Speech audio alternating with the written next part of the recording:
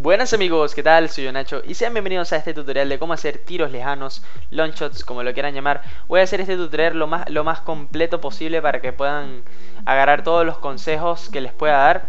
Eh, primero lo que pueden notar son partidos todos de Ultimate Team, por lo tanto no modifiqué ninguna especie de, cualidad de tiro o de nada. No, son partidos modificados, son partidos de Ultimate Team, algunos online, otros contra la computadora. Y bueno, vámonos eh, de una vez para el tutorial. Primero les quiero aclarar también el rumor de acerca de que para hacer estos tiros eh, necesitas presionar el gatillo izquierdo. Hay cierto rumor de eso, pues no es necesario presionar el gatillo izquierdo. No hace falta que lo hagas, debido a que ninguna parte de FIFA indica que este gatillo es necesario para hacer un chute especial, sino nada más el tiro elegante, pero el tiro elegante no tiene nada que ver con esto. Y aclarado esto, ahora en los tiros lejanos, primero lo va a mostrar esta en primera plana aquí en, la arena de prácticas, cuando hay que empezar a chutar. Hay que empezar a chutar cuando el jugador empiece a tocar el balón, cuando tú la quieras chutar. Apenas el jugador haga el toque del balón, él, va a largar la pelota y ahí es el momento en el cual tú vas a empezar a chutar el balón. ¿Cuántas barras le tienes que dar? Dependiendo de qué tan lejos, si es muy muy lejos, Mm, tres 3 barras, un poquito más. Si es más o menos lejos, como en este caso, 3 barras es suficiente. Y un poco más cerca, pues bueno, obviamente no, eh, un poco menos de las 3 barras. Pero también es bueno saber otras dos cosas. Es recomendable que los chutes eh, de este tipo empiecen desde el centro del campo, ya que desde el centro del campo es más fácil que el portero le cueste adivinar hacia dónde va el balón, que tengan menos tiempo de reacción o tú tengas un mejor ángulo para que el balón entre y el portero no la termine tapando. Así que les recomiendo no hacer estos chutes muy pegados a las bandas, muy importante. Lo otro es eh, la dirección del, del tiro, ¿no?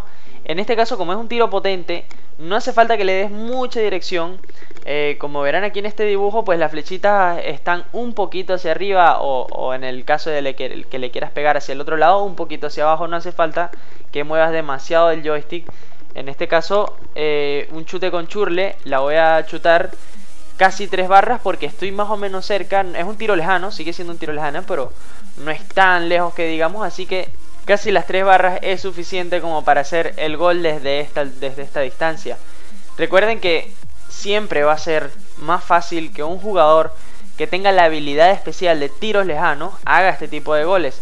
O también aquellos jugadores que tengan un número alto en tiros lejanos, poder de tiro. Pero ya eso es más recomendable para cuando le quieres pegar a mitad de campo, 40 metros lejos de la portería. Ya ahí sí es recomendable que sea un chute con un jugador especial para tiros lejanos. Pero en el caso de que, de que no tengas ese tipo de jugadores, pues eh, muchos jugadores, eh, mediocampistas o lo que sea, no necesitan esa habilidad especial. Te pueden hacer ese tipo de goles. En este caso, eh, tres barras, porque ya el jugador estaba un poco más lejos de, lo, de, los anteriores goles. Tres barras eran lo suficiente. Como verán, el balón pica y apenas pica del jugador, apenas toca el balón, el jugador hace el chute o bueno, yo presiono el botón de chute. También están los tiros lejanos colocados, es decir, presionando el botón de arriba, el botón R1 en el caso del Play, el botón RB en el caso del Xbox, que aquí influye bastante la cualidad del jugador con chutes curviados. En este caso Royce es un excelente candidato para hacer este tipo de goles, tiros colocados de lejos. Pero esta vez les recomiendo que hagan este tipo de chutes cuando estén más apegados a las bandas, cuando estén eh, más lejos de la portería, pero hacia los lados.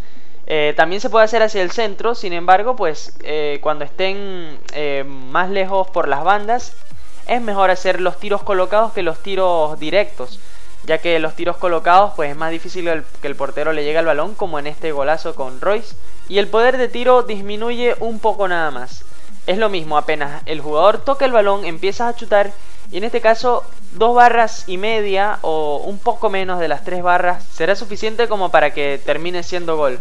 Recuerden que es muy importante que el jugador tenga ese, ese espacio eh, que apenas toque el balón empieza a hacer el chute para que tenga la mayor comodidad para, para, hacer el chute. Es lo más importante. Y bueno amigos, eso ha sido todo el video por hoy. Espero les haya gustado. Eh, nos vemos en la próxima. Hasta luego.